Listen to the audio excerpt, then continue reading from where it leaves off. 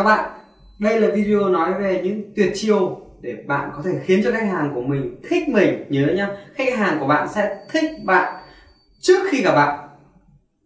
Họ chưa từng gặp bạn trực tiếp bao giờ cả Nhưng họ sẽ thích bạn bởi vì họ đã nhìn thấy bạn trước đó ở trên Internet Ở trên Internet.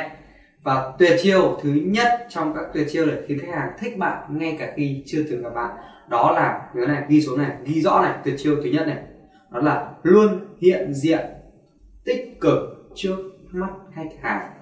Luôn hiện diện tích cực trước mắt khách hàng. Thế làm sao để luôn hiện diện tích cực trước mắt khách hàng? Ok, cách làm của tôi tôi chia sẻ cách làm của tôi như sau. Cứ mỗi buổi tối, trước khi đi ngủ, nhớ này, bạn có thể làm theo tôi, theo cách là gì ạ? Trả lời cho tôi câu hỏi là, hôm nay điều gì làm bạn vui? Hôm nay điều gì làm bạn vui? Hôm nay điều gì làm bạn vui? Và việc của bạn, đó là trả lời câu hỏi rằng hôm nay điều gì đã khiến cho bạn vui?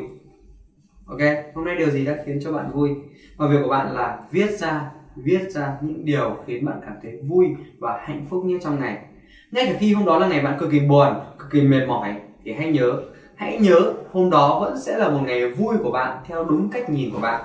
Vui hay chưa vui vui hay buồn đều do cách nhìn của bạn hãy có một tâm thế luôn luôn tích cực. Và khi mà bạn đã trả lời câu hỏi là hôm nay mình có gì vui rồi, thì đừng quên là đăng trên Facebook và đăng trên website của mình. Đăng trên Facebook và đăng trên website của mình. Và đăng trên group của mình. Và đăng trên fanpage của mình. Đó là bốn kênh mà bạn cần phải nói điều tích cực hàng ngày, luôn hiện diện với hình ảnh tích cực hàng ngày. Thế đấy là cách mà khiến cho khách hàng của bạn, lần thứ nhất, họ nhìn thấy bạn tích cực, họ ok họ biết đến bạn thôi. Nhưng lần thứ hai họ vẫn biết đến bạn với hình ảnh tích cực đó. Họ sẽ quý bạn hơn. Họ quý bạn, họ quý bạn, họ mến bạn và dần dần họ sẽ thích bạn.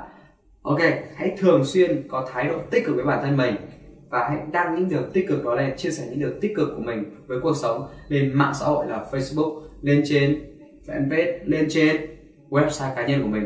Đấy là cách để khiến cho bạn làm cho khách hàng của mình yêu, thích mình trước khi gặp mặt. Cái đầu tiên, ok?